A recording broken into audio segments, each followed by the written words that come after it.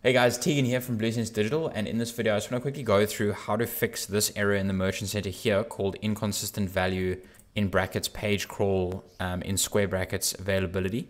I believe what causes this is due to products going out of stock on the website, but according to the feed, they are still in stock.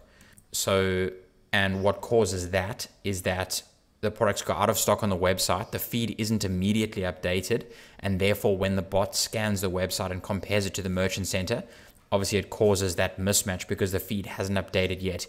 So, to fix this, um, what you can do is head up to tools and settings, go to automatic improvements over here, and just check that these three automatic updates have been turned on. So, I see that this um, availability updated automatically is turned on. But what I'm going to do is switch this to update regardless of availability on the website.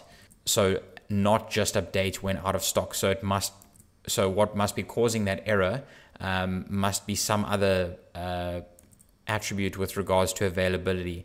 So I'm just going to update that there and see if that helps. Um, in the past, that should fix that error because essentially what this does is it'll scan your website um, and it'll match whatever is scanned on your website with the merchant center. So it'll change your value in the merchant center um, or what is reflected on the front end of your shopping ads, but it won't change what's in the feed. So it'll be an awkward situation. And this is especially relevant when you've got a slight delay in terms of when your feed resyncs to the merchant center. So what you'll see is that in the actual feed for, for the product itself, so let's just take this product here, for example, so you can see that automatic item updates are active. So let's say this product goes out of stock on your website. It'll show as, or sorry, it won't show on or as a shopping listing because it'll be out of stock. Um, and it obviously won't show or it'll show as out of stock on your website. But until the feed gets resynced, it'll still show in stock within the feed itself. Um, and then obviously it'll update once and it'll, it'll update as out of stock once the feed resyncs to the merchant center. So, bit of a niched situation, but this should help fix that error.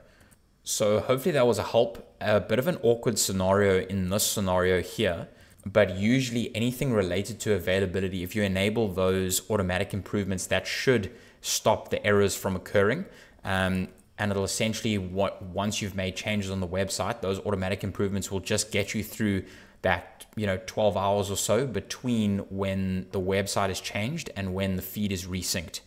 So hopefully that was a help. If you have any questions, leave them in the comments, and we'll chat soon. Cool. Cheers.